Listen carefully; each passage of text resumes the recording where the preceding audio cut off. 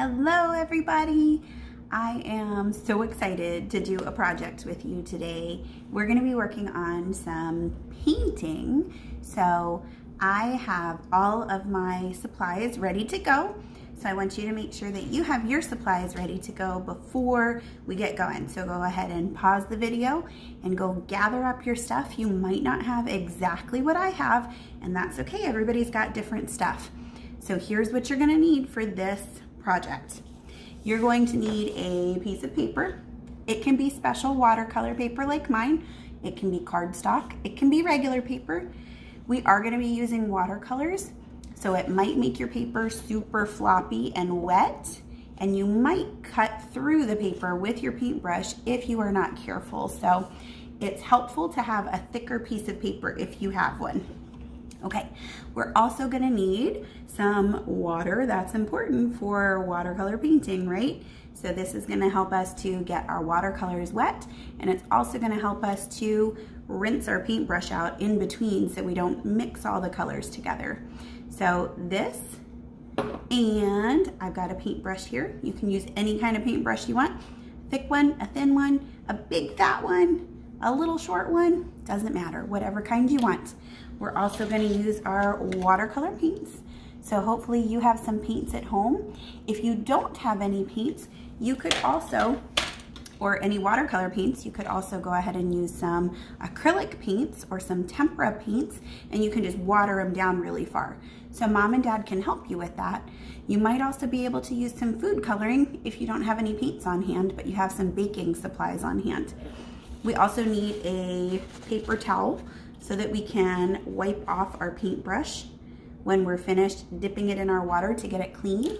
And the last thing that you might not have guessed is going to be some salt. So I've got my cute little salt shaker here.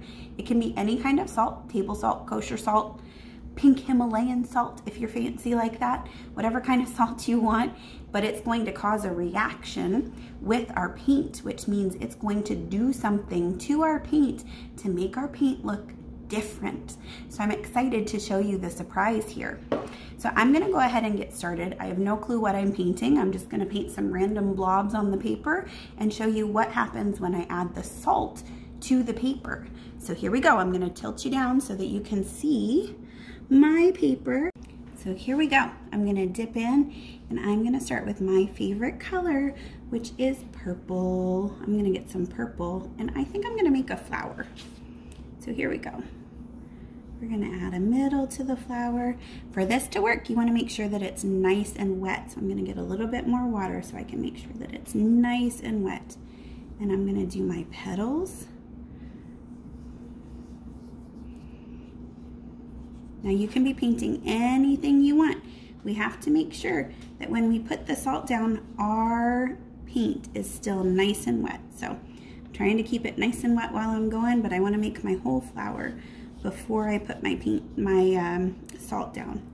So I can show you what the whole thing looks like. All right, so I'm gonna go back over the parts that are not so wet anymore and see how there's different colors in here. Some of it's a little bit darker where I got a little bit of extra paint or it's a little bit extra wet and that makes it look pretty cool.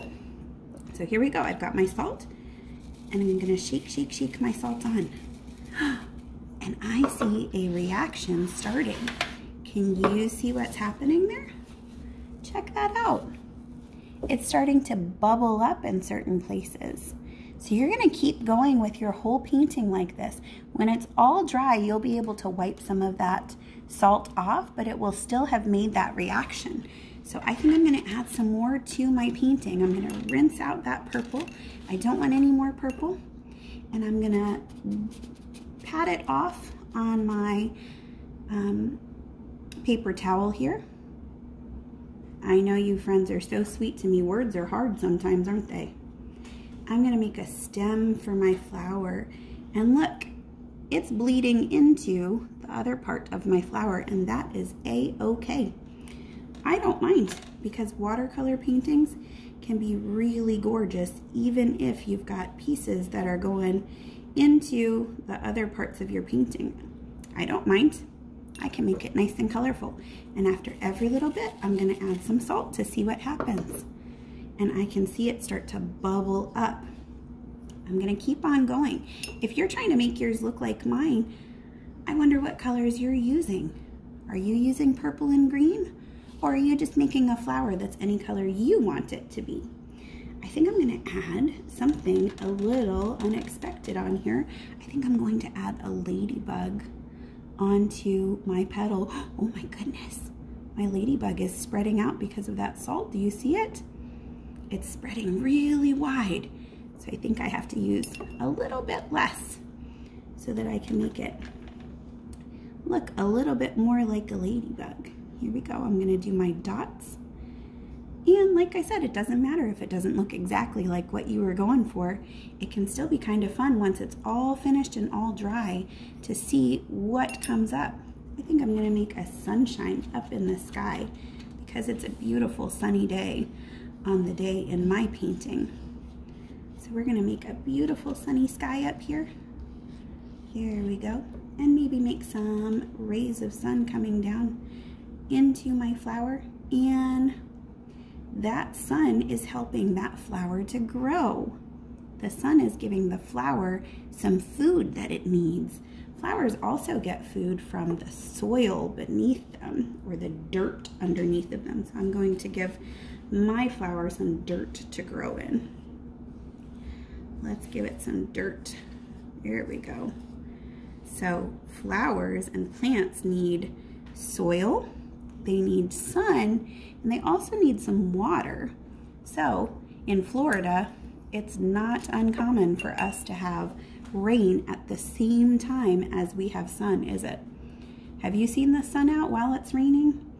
I sure have. So I'm going to make some rain coming down. Let's make some raindrops. I'm going to make some rain coming down from the sky. And like I said, that happens in Florida. Maybe not in other states. Maybe it looks gloomy every time it rains in other states.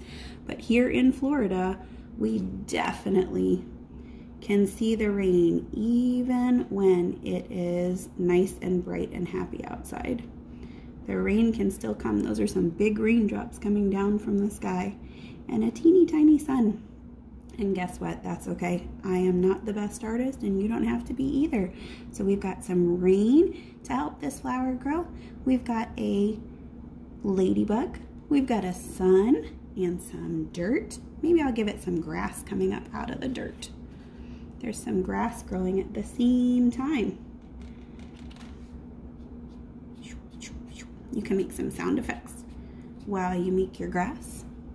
And maybe I'm gonna make a center to my flower and that might be just it. So I'm gonna get a little bit darker color and I'm gonna make a middle to my flower just to define it a little bit.